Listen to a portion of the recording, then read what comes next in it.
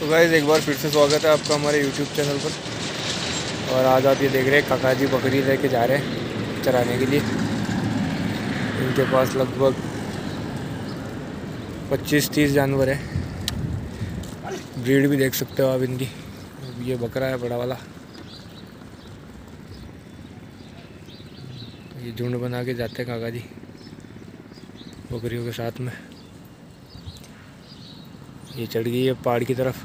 ऊपर जाके आराम से जड़ी बूटी वाली पत्तियाँ खा के आएँगी ये।